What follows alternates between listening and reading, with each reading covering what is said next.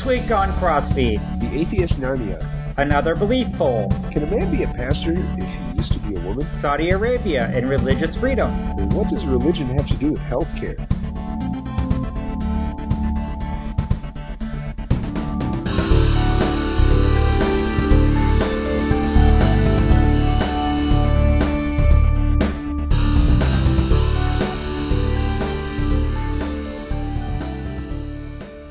Welcome everybody. I am Pastor Jim Butler, slightly grizzled out here at St. Luke's Lutheran Church in Dedham, Massachusetts.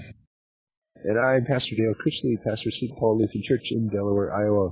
Welcome back, everybody. Sorry about the uh, unscheduled week off. Uh, something that I should have known about came up, and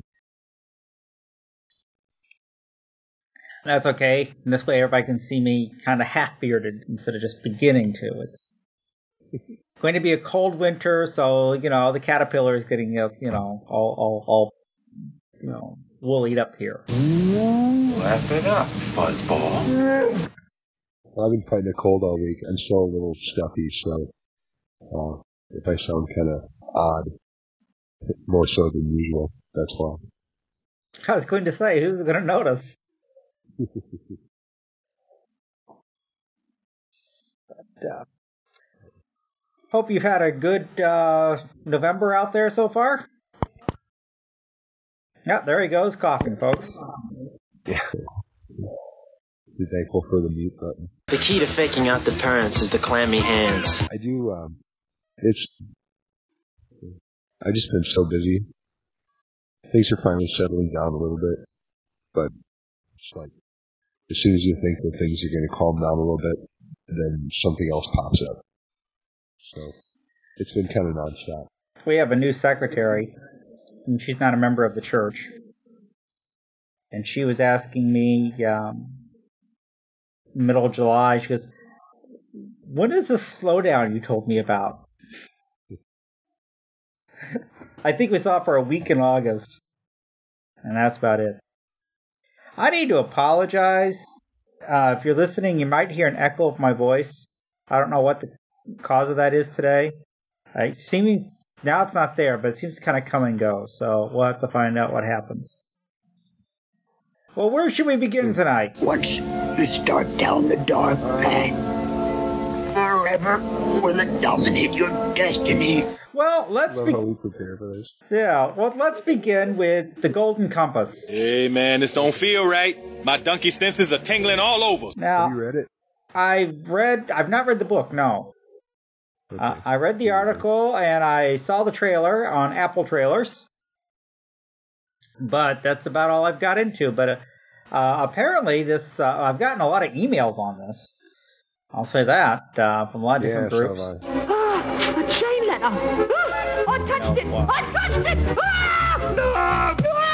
Apparently, this Calling uh, for boycotts. Yeah, calling, yeah, which I never think is a good idea, but uh, uh, his Dark Materials is the name of the trilogy, and it's by Philip Pullman, who is an outspoken atheist. That's uh, one of the things about him. I guess, and the, the the first two books aren't too revealing, but the third book, uh, apparently they find God and kill him, although they find out this God really isn't God. Um, but it's gotten a lot of people very upset. Um, you know, he, I mean, he, he admits flatly that he is an outspoken atheist. He, um, absolutely despises the Narnia series. Yeah, I love his quote. He says, I loathe the Narnia books. Uh, I hate them with a deep and bitter passion, with their view of childhood as a golden age from which sexuality and adulthood are falling away. He's called the series one of the most ugly and poisonous things he's ever read. Wow. I've never seen somebody so... Last time I saw somebody so bitter about a book series, it was the Harry Potter series. I think we had a bad influence on her. So, well, Yeah. I... He seems angry. But Sometimes I just don't understand human behavior. the um, the sort of twist in all of this is that um, New Line Cinema is is putting this out, making a movie out of it. They've been working on it since 2004, and while they're making a movie based on this book, and there are anti-Christian or, or, or actually really anti-religious, anti-church um, kind of concepts in all the books. They're pulling all of that information, all of, all of that anti-church stuff out of it, so that um, you know they're kind of gutting the book, and in order to produce a movie that's not going to offend Christians. Right, but that is offending Christians because they're saying this isn't in the book movie, but the kids are going to go out and buy the book, and there it's going to be there. We're in trouble. Um, You So- can't win, can you? yeah, I guess you can't win. Um, interestingly enough, is that um, uh, the Christian film and television commercial by Ted Baehr, uh, Jimmy Dobson's focus on the family. They're both saying they're, you know, kind of taking a wait and see attitude about it. Um, uh, although Baehr says uh, he's got plenty of things to say about the the the, the, the, book, I think you know what the problem is just as well as I do. and they actually put out a pamphlet about the book, the book about the series, but they don't really say too much about the the, the movie itself. Um, interesting enough, by the way, they they've kind of cleaned out the the anti-God parts. Um, the writer of the book, Phil Pullman, co-wrote the screenplay. Right. Yeah. So he, you know, he's he's on board with this whole remove the anti-God stuff. Right. And he's real comfortable with it. Yeah, I like his quote. This must be the only film attacked in the same week for being too religious and for being anti-religious by people who haven't even seen the movie. it's true. Oh, good grief. I know. I, you know, this is one of those things. If you consider, I mean, there have been plenty of movies out there. Well, let's face it. Most of the movies out there have stuff that's anti-Christian in some way or another. So, um, you know, you you look at this and you think, well, okay, this is a little more explicit about it, but then it gets rid of the stuff that's explicit about it, so it's not anti-Christian anymore. I mean, I think it's a good thing to inform people. Well, okay, just be aware that the book is really different from the movie. Of course, the book's always really different from the movies, so that's no big surprise. I mean, you compare the Harry Potter books with the movies, and well, they tried to be faithful, but I mean, realistically, Yep, there's the, they made their changes. Although now, I mean, I watched the trailer online today. I couldn't make heads or tails out of it. It looks very confusing to me. I have no idea what that meant.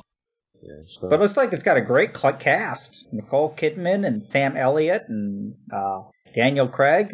Uh, not playing James Bond this time, uh, but some fantasy world where she, where, where there's these uh, animal spirit creatures that talk to you, and I'm I was very confused trying to watch it, but uh, so maybe now I'm intrigued enough, so maybe I'll go out and pick up the book and you know read and see what it's like. Well, that's the thing. Now I'm kind of intrigued by the book. Because I'm going, oh, gee, what do they do with it? You know, it, it's sort of just, you know, not having read the book. And, and if, you ever heard of the play uh, Waiting for Godot? Read it several times. Okay. See, this this kind of seems to, it kind of reminds me of that. The sort of, well, is it, you know, is it God?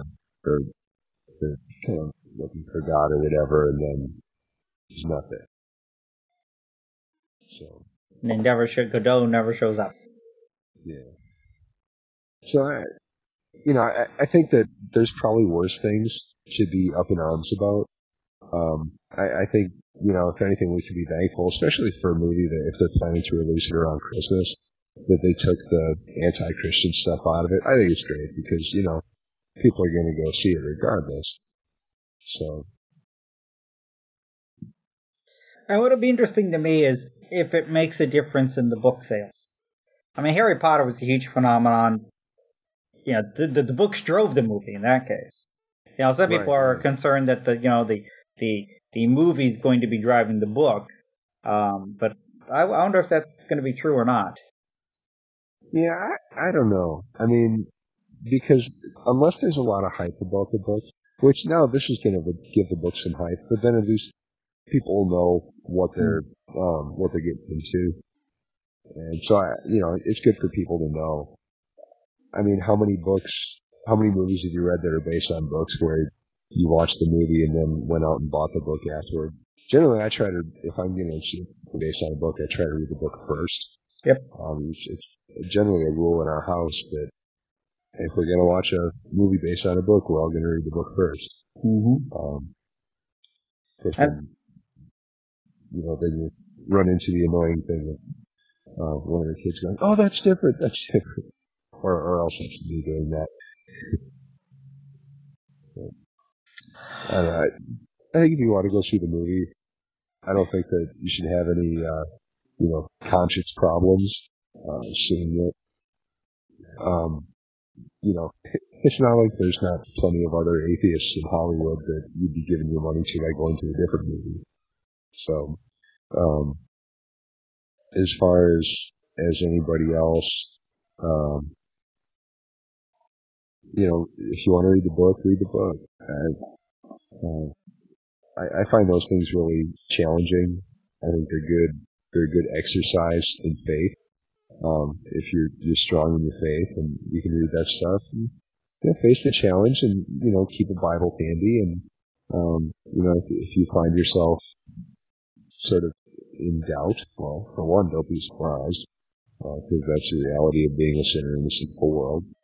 But also, it's a matter of um, you know, this is a good chance when you, when you have those those questions. That's going to help strengthen your faith because it's going to leave you running back to the Bible and to um, to find the answers. And that's how the church has grown historically is by being challenged. So I think it's a good exercise as long as you're you know you're strong. And also, it's good to have a community around you, your you know your pastor, your congregation, um, and that people that if you have questions, if, if some of this mm-hmm. stuff is just a little bit too much of a challenge for you, going, gee, I don't know how to answer this you know, to have somebody to fall back on to say, boy, how would you answer this? You know, how, how do I answer this? So that would be helpful too. A Couple good thoughts there. Speaking of uh, how would you answer things, how would you, what do you believe? I I thought this survey was kind of interesting. That uh, basically the majority of Americans are pretty fundamentalist in their faith. Um, uh, this is uh, uh, or maybe biblical in their faith. Um, yeah, it's probably more. Uh, the Barna Group, uh, George Barna's um, going out doing survey group there. Did some things and asked people what do they really literally believe, and yeah, um, 75% said that they. This is of Americans, not necessarily churchgoers only, but 75% of the Americans said that Jesus bodily rose from the dead. Um, interestingly enough, 75% of Americans who do not identify themselves as born again Christians said that Jesus rose from the dead. Uh, 68% um, of college graduates said that they believe the resurrection is true. Um, and um, most of them, two thirds, uh, believe that Moses parted the Red Sea. Um, something like you believe that Daniel survived in the lion's den. Yeah, and uh, David really fought Goliath.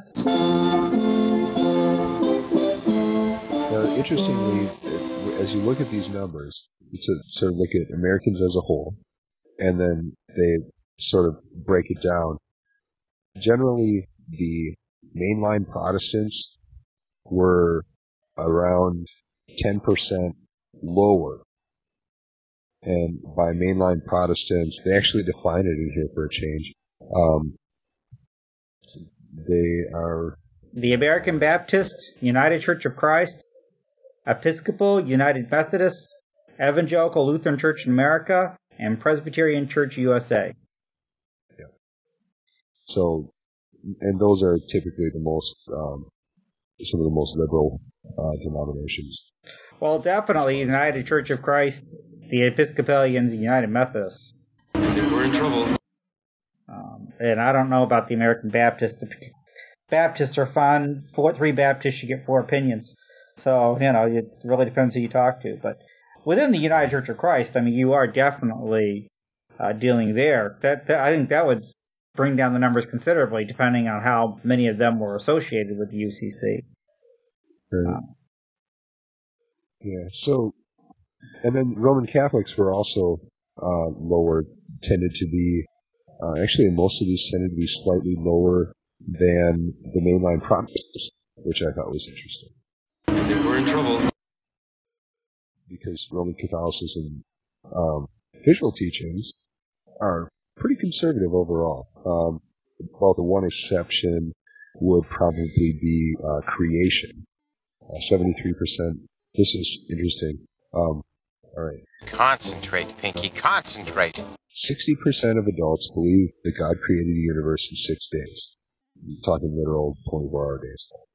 Um, the more highly educated Americans were much less likely to believe the creation account was literally true. 73% of adults who did not attend college believed the story was literally accurate. Only 38% of college graduates hold that view.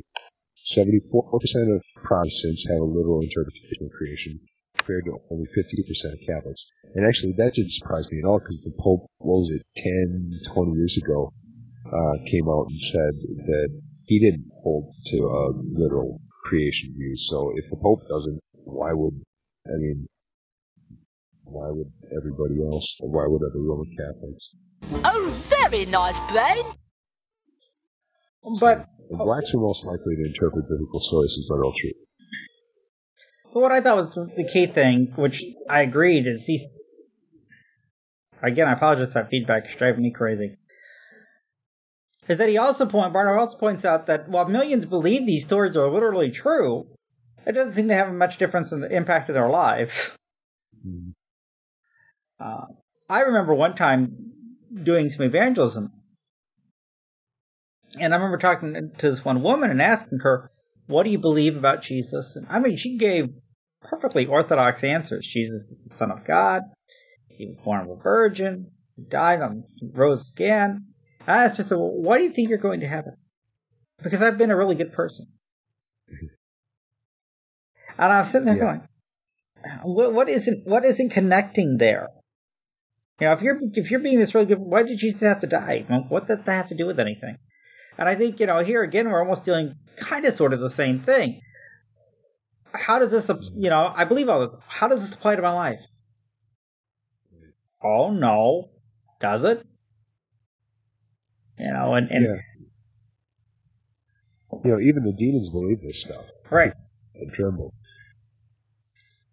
So the and you know that also it's it draws an important distinction between knowledge and faith. It's one thing to believe in the historicity of it. It's something else to believe that it is for me. I remember, and I may have told the story before. There used to be this great video called What is God Like? And they went around to England, Chicago, I think Australia, a couple other places. And they just asked people on the street, what is God like? And um, this one woman from England, she said, well, you know, if you believe in God, everything in your life has to be affected by that. If you believe in God, it really has to stand at the very center of your life. And it's not like you can have a work life and a, and a home life and a, a, God life. God's got to be in everything that you do, and and you got to be totally committed to that and everything that that you're about. But I'm not ready to make a commitment like that, so I don't believe in God.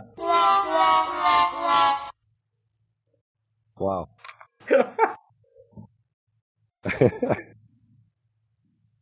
She's honest.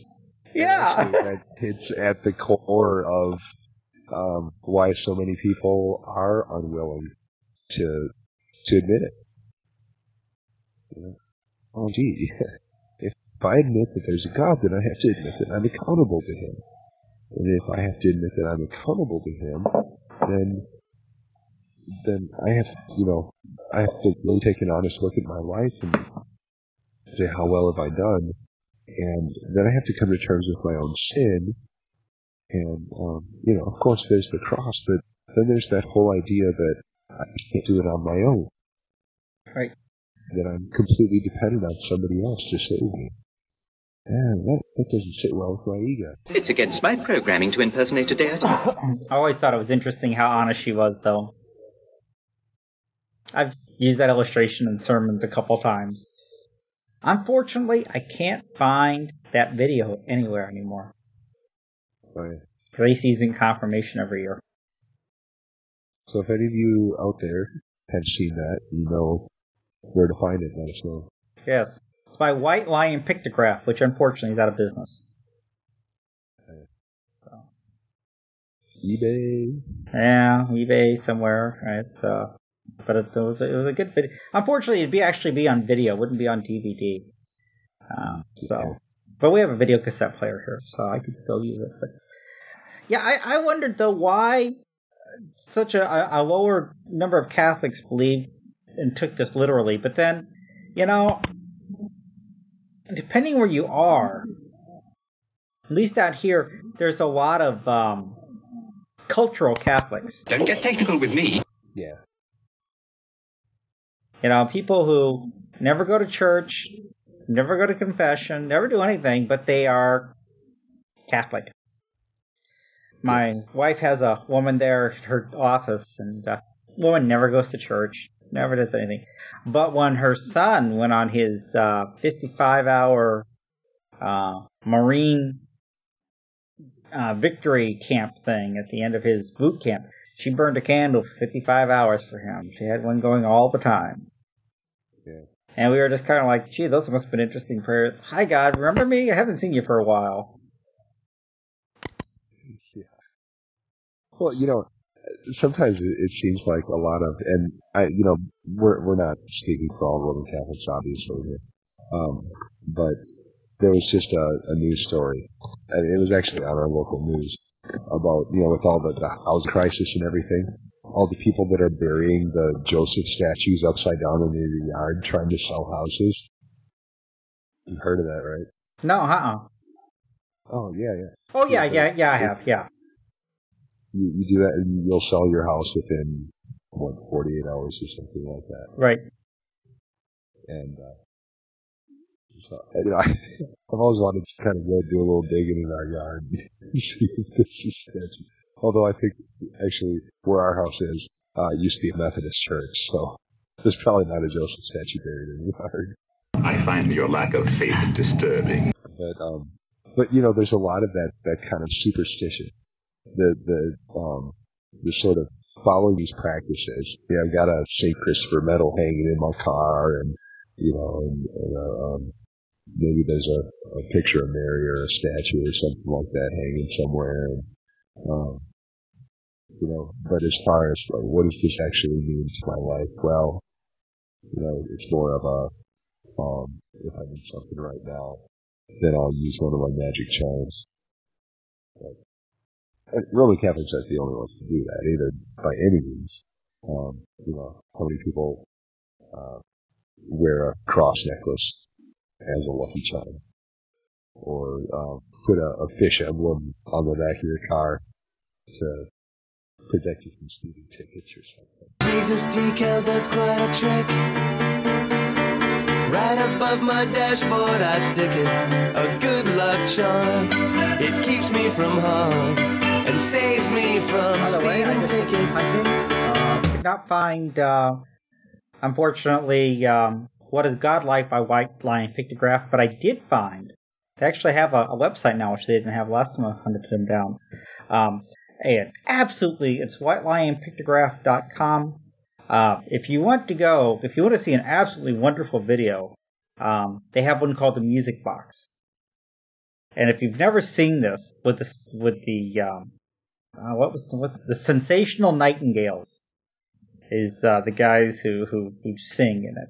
It's a riot, and it's really ideal um, for a class on evangelism to watch this. But you have these guys in these little white tuxes with little wings on the back and stuff, and uh, it's a really neat, uh, very very neat uh, little little movie.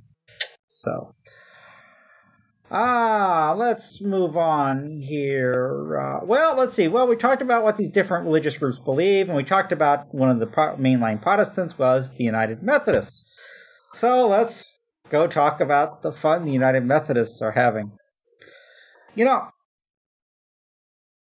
Lyle Schaller is a United Methodist. Schaller was a um, uh, uh, church growth guy, church consultant. Uh, I think he's still around. He used to uh, be part of uh, the Yokefellow Institute, and he used to put out um, this thing called um, the Leadership Letter or something like that. Um, oh they, yeah, yeah, yeah. Yeah, he had little Friar Tuck illustrations, and he published several books, and he was rather good. I actually got to. Anyway, I get to see him speak shortly before his retirement. And he looks at me and this other guy who graduated a couple years ahead of me, and he goes, You know, I'm glad I'm retiring. Because you're going to be facing issues in ministry I never even dreamed of. I think this might be one of them. Yeah. Uh, okay, so we have um, the Reverend Drew Phoenix, um, uh, formerly known as Reverend Ann Gordon. So you get Ann, Andrew, Drew, okay, and of course Phoenix being a symbol of resurrection or you know new life. Um, she got the operation, and uh, she avoided that whole women's ordination question. well, she was ordained before as a. Yeah, she was. Um, but now it's okay because she's a um, this is going to be an interesting situation. Um, on the one hand, this his church, St. John's Methodist Church in Baltimore. Uh, he's a fun-loving pastor who counsels, takes their kids hiking, explains scriptures, plunges in worldly causes. to the conservatives, he's a rebel who has defied God and nature should be removed from the ministry. There is evil there that does not sleep. Yeah. And and by the way, just um, so that you're not uh, left in the dark, uh, the decision was made.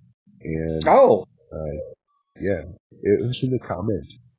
Um, posted a link Um, that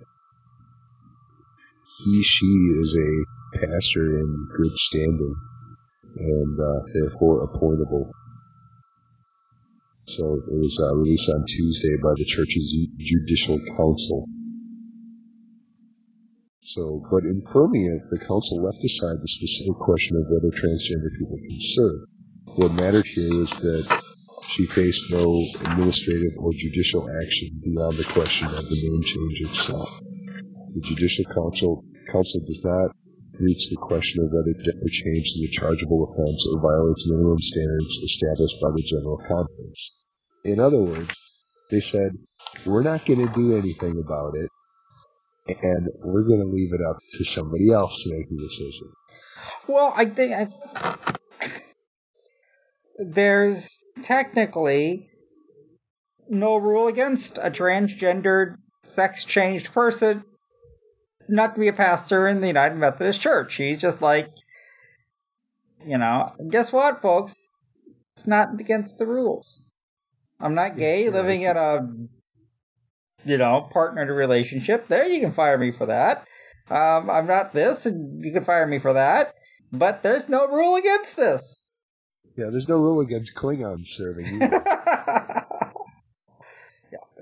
You know, so he, he kind of worked around it. and, and hey, the, I, the, I think their viewpoint is since there's nothing explicitly against it, we're not going to make make laws sitting here.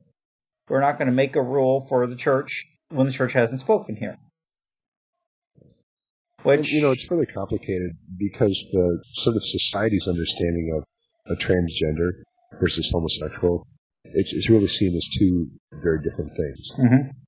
Where you know the Bible lumps it all together, um, and basically says, right, God made man in his image. He made woman from man. Yeah, there's a very distinct uh, delineation there uh, throughout Scripture. And uh, I, I, there's this this quote from a um, character, a social worker and lifelong Methodist. It was like, okay, great, congratulations, you're living as God intended now. How wonderful. Every now and then people struggle with the pronouns. That's the biggest challenge. Right. Living as God intended. So that raises the question. Did God go, oh, whoops, wrong chromosome? That it is you who are mistaken. Or what?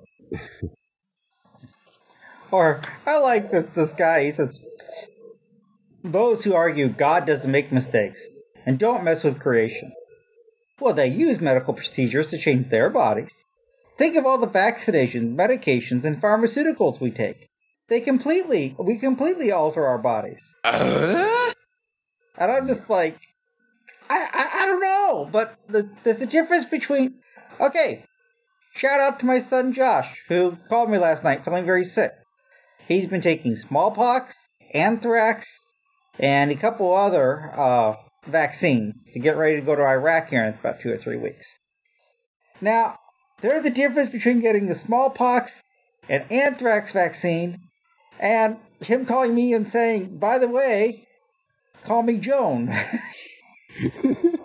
now that's comedy. You know, there's a slight yeah. difference there.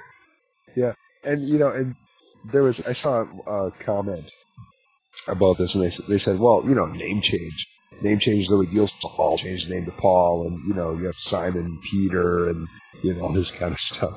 Um, yeah, but the name change signifies something completely different here. You know, it's, it's not just a, a change in in identity; it's it's a change in your biology.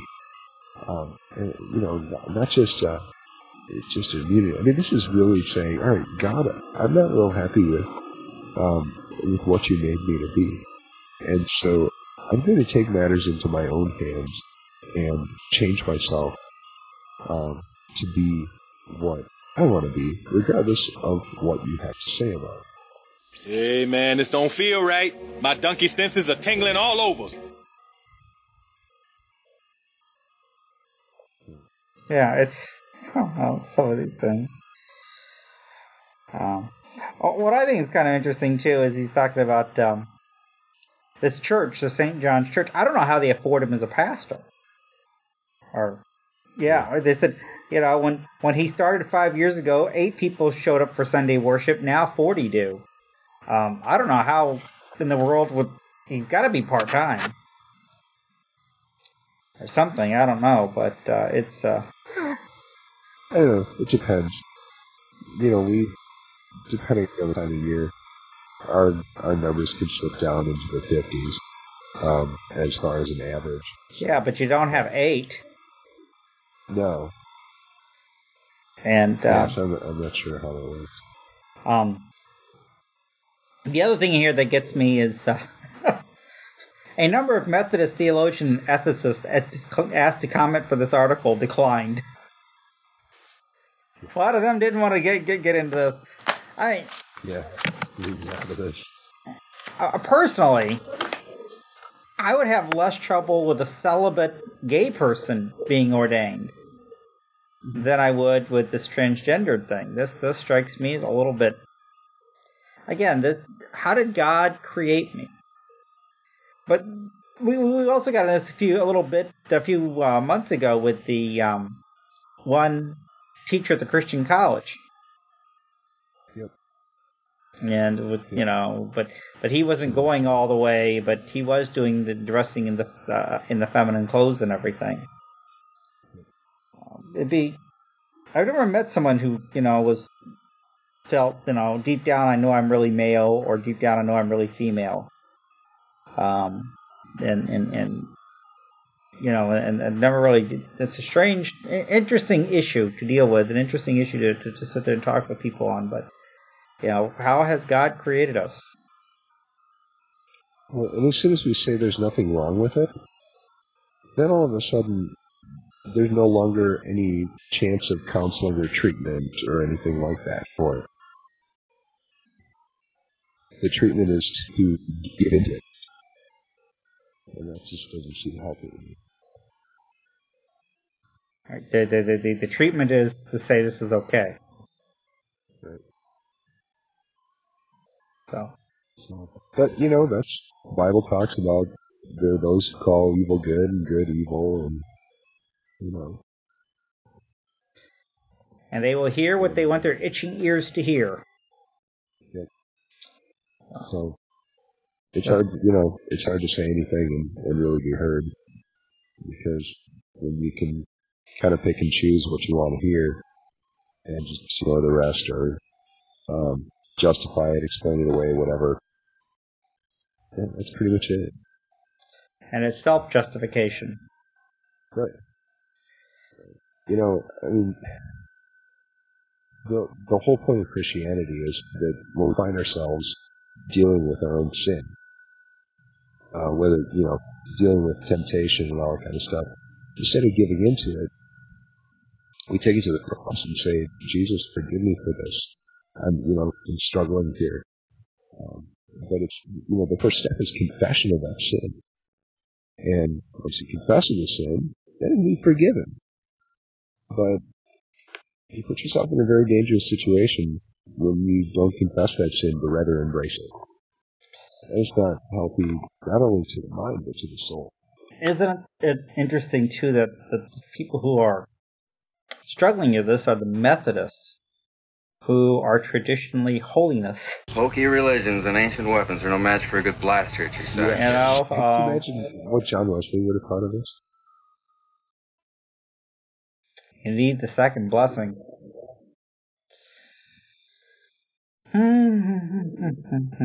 So speaking of, okay, okay, let's go over there. hold on a second. Um, there's a, a new study that's been done that shows that religion and spirituality are linked to positive physical and mental health. Surprise. However, most studies have focused on people with life-threatening diseases. A new study from the University of Missouri Columbia shows that religion helps many individuals with disabilities adjust to their impairments and gives new meaning to their lives. They say religion is a coping mechanism for persons with chronic disabilities such as a traumatic brain injury, spinal cord injury, stroke, and arthritis. That doesn't surprise me. I know plenty of people that suffer from these things that say, I don't know how I could get through this by myself, how I could get through this without God, without knowing I have the resurrection to look forward to. Right. Or I remember one girl when I was in college, and she was dealing with some kind of chronic condition. I can't remember exactly what it was. Bright girl, but uh, she she held to the verse, um, "I can do all things through Christ who gives me strength." Philippians four thirteen. That was that was her. She showed us that again and again. That you know she held to God's strength to get her through every single day. Yeah, so to me this makes perfect, absolute perfect sense. And uh, then it says, uh, you know, that uh, persons facing impending death may use religion to help them accept their condition, come to terms with unresolved life issues, and prepare for death. Well, yeah. Oh, gee, I don't know. Well, let's I'm going to die. Um, God has promised resurrection. That's a pretty good cure. It gives it make it gives purpose and meaning and hope and those kinds of good things. Um, although it's interesting, uh, this was not specifically Christian. Um, you know, because it talks about healthcare providers should encourage religious practices important to individuals such as yoga, uh, reading of religious texts, meditation, or laying on of hands. Yeah, so it, it's taking almost a sort of a clinical approach, right? Hmm. And you know, you see these studies on like prayer. What's the effect of, prayer? Uh, praying to someone and Mm-hmm. and, and stuff. They, when you try to examine God uh, scientifically, work. Well, I, It, it, generally, they get the exact opposite uh, results that what they're expecting in that. And you know, here they're going, well, let's see, maybe yoga will work. Maybe you know, they're they're treating these like alternative medicine. Like we'll we'll throw laying on of hands in there with acupuncture and uh, herbal remedies or something. Although, I mean, to a certain extent, uh, Viktor Frankl's book, um, Man's Search for Meaning. You know, now he was a Jewish person. He was not Christian. But you know, every time you turn that off, my echoing comes back. Yeah. Yeah. So you don't want me talking. Then. No, I guess not. So again, instead they get to listen to me echo. They get to listen to me twice in the same time. anyway. That's what everybody wants. Yeah, bored me. I'm gonna marry that man.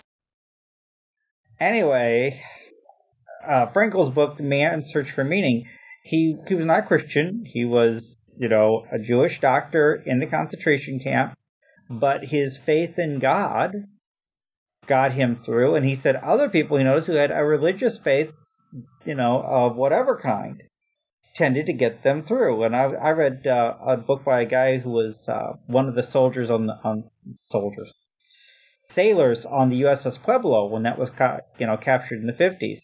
And he was he was an evangelical Christian, but he said others were on there. Um, one was Jewish, one was a Christian scientist, one was a Jehovah's Witness, and you know they relied on their faith to get them through.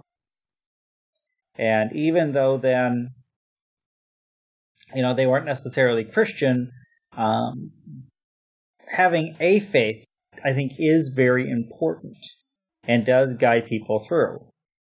And that's one thing that, you know, military chaplains learn then is, you know, how to work with people who have a different faith than they do. But realize that, that, that, that, that having that, being a person of faith, having some sort of relationship with a, a religion can make a big difference in people's lives. You and I, of course, would say the real truth is in the cross and in the open tomb, and that's where real hope lies. Yeah. Yeah. No. The other things are just a shadow or corruption of the, the true reality. But there is something just the kind of the general clinical approach too. Yeah. There's also the other side of the coin. It's very important that rehabilitation professionals be aware of the different religious customs which should be considered when evaluating and treating patients, including information regarding the appropriateness of physical touching by others, preferences regarding gender-specific services, dress, and hygiene customs. Well, that makes a, a huge difference, um, especially people with uh, specific rules about uh, how they can dress and um, what's appropriate for, you know, if you're a part of a religion where um, it's not appropriate to have any kind of physical contact with someone of the opposite sex that you're not married to, or something like that. You know, then you get into these therapy situations where the person's holding you up, or you know, or whatever. Um, you know, that can that can cause a lot of uh, you know emotional, psychological stress for that person because oh, this shouldn't be happening. You know. Mm-hmm. So, or um, I don't know if you read any of the articles when uh, Laura Bush was over in Saudi Arabia trying to raise awareness on breast cancer. And, you know, one of the problems is it's taboo for women to visit male doctors. This is madness. And it's taboo for women to become doctors. When will this insanity end? That's a problem. And also, you know, you, and so they can't really again, talk about, um, talk about this, and, and the men aren't allowed to touch the women to, you know, see if they indeed have a growth on a breast or something, and it's just causing horrible problems over there, and women are dying needlessly. Do we let them stand alone?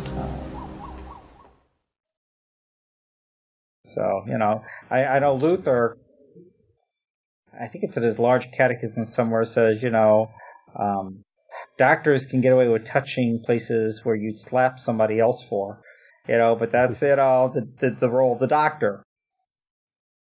You know, and then he, he replies yeah. that somehow to God. I can't remember exact quote, but you know, it's they haven't figured that out over there apparently yet. Well, you know, the the other thing is, if you talk to um, any woman that I've ever talked to that had to go to a gynecologist or something, it wasn't the sort of experience that they really are interested in repeating anytime soon. Usually. Oh no.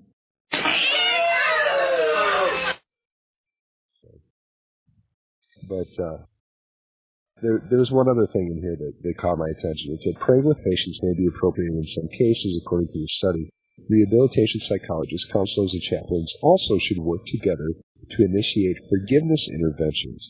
Patients who are injured as a result of the actions of others may be better able to work toward recovery if they can use their religious beliefs to work through emotions surrounding the cause of the disability.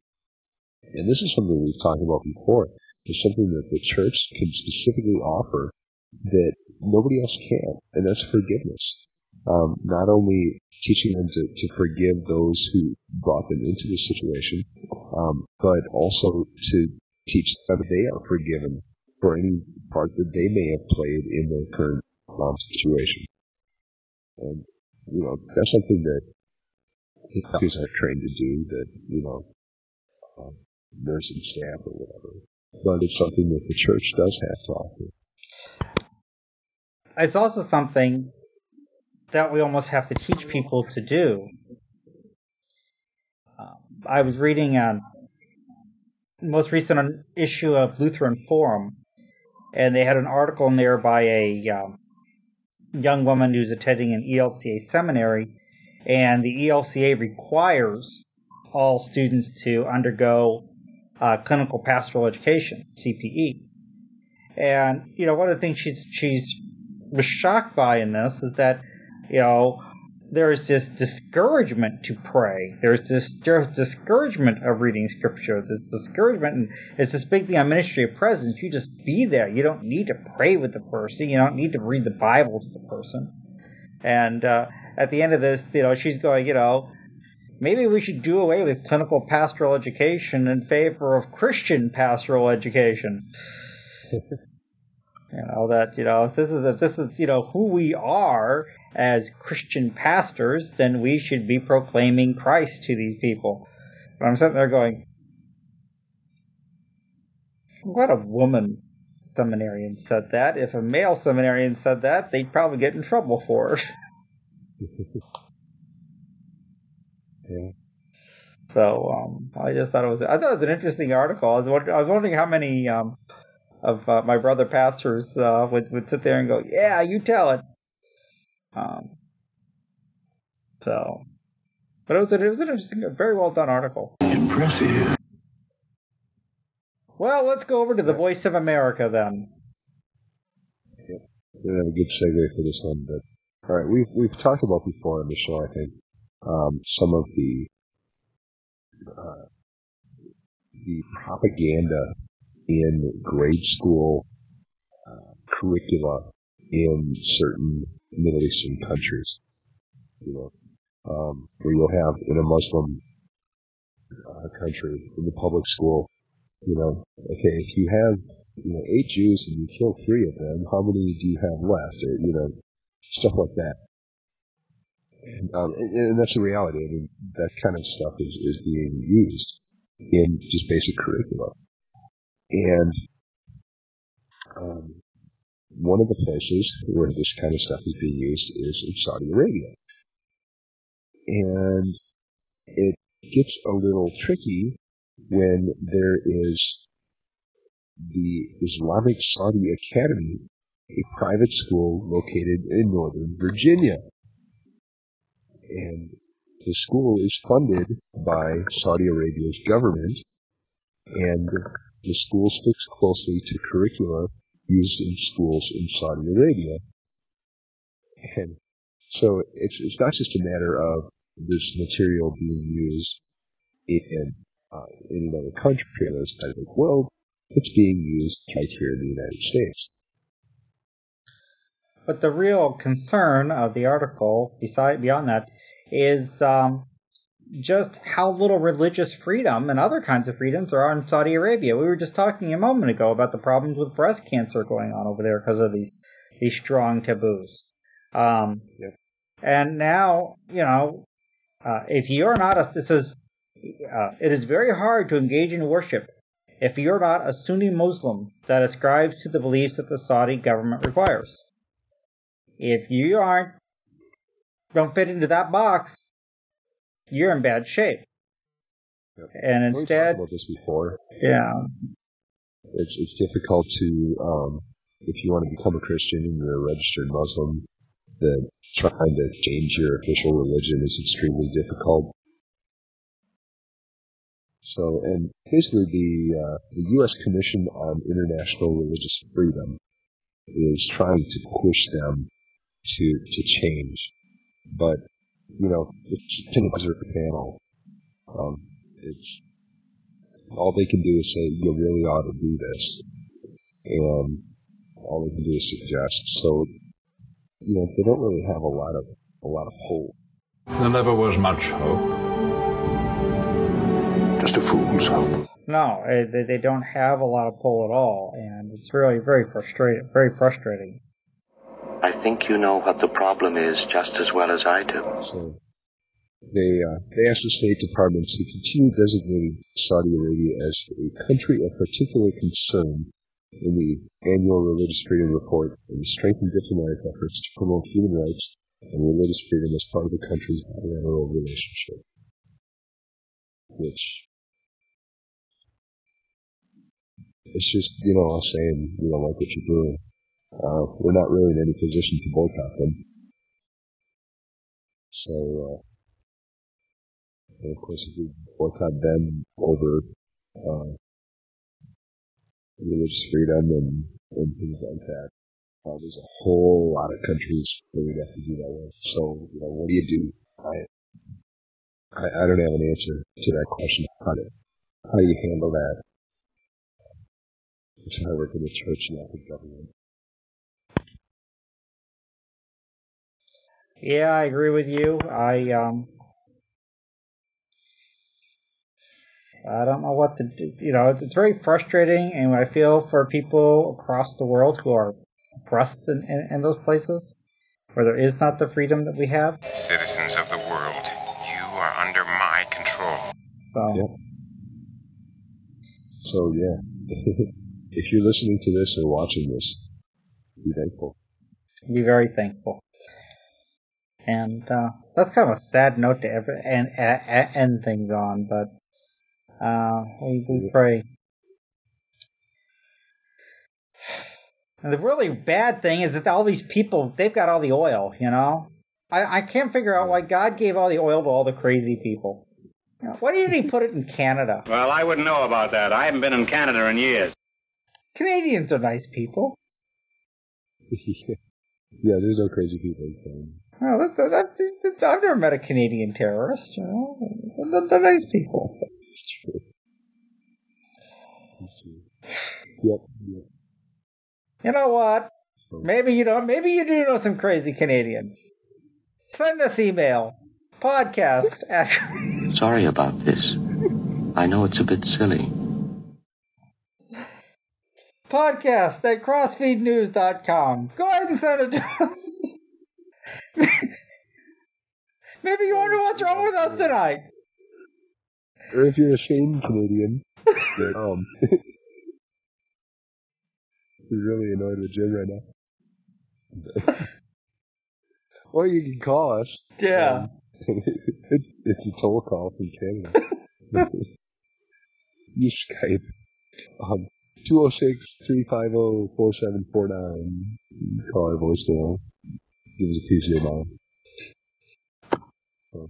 Um, also, want to let you know that hopefully next week we will be um, releasing uh, Crossfeed News 2.0. Uh, we it was actually it was about a year ago. No, uh, okay, yeah, well it was in like August of last year, end of August, beginning of September, that we added video so that you could get the the show in both audio and video. take your pick. And uh, we have quite a few people that are choose one or the other. And uh, but now with uh, Mac OS 10 Leopard being out, and I have it, I'm actually using it right now, but I'm using it on my iPhone. Um, and uh, so it's not capable of doing the extra features. Uh, we've got a, a new and improved opening for the show. Um, hopefully the sound will be a little bit better. Hopefully we won't have the echo. Um, and I'm going to be switching to using a different computer official and just a little faster. And uh, we'll be able to throw in all kinds of, of features like um, be able to put up pictures of the people that we're talking about and, uh, and things like that. So uh, the, the video people will probably notice the biggest difference. Hopefully the audio will be a little better too. Um, but if you're if you're watching the video version of the show, hopefully you'll see some real major improvements, and uh, so we can look forward to that. Yeah, he he, he he's upgrading next week, hopefully. So, he's getting uh, all fancy on us, folks. Well, you know the funny thing about this, folks, is that when we first met, I, I was the one who was ahead in the computer, not him. Don't be too proud of this technological terror. So, uh, he, he's taught me a lot. And yeah, his first laptop came from me. If you remember that. Yeah. Sold it to you on very good terms, as I recall. Whatever you can pay, whenever you can pay. yeah. But Hey, worked out well. Some laptops before that, but they were pretty old and. But uh, no, that's that's and that's, yeah, that was that's how we got to be friends was cause through that. That that worked out really cool. Anyway, hey, we need a shout out to PDAperformance.com and uh, who do our hosting and all that kind of stuff. So you wonderful folks can listen to us blather on here, and we really do appreciate them. Well, kids, that's enough for one night, eh? So we should this up before we blather on anymore. Yes.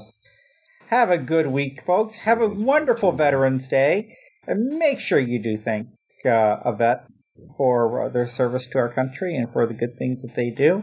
Um, and continue to pray for our men and women who are overseas still serving today. And uh, just pray then that uh, God will keep them safe. And uh, thank God for those who are willing to offer their their their lives and service to our country. Yeah, so mm-hmm. really, really appreciate it because it's because of you guys that, uh, that we have the freedoms that we talked about tonight. Have a good week. Yeah.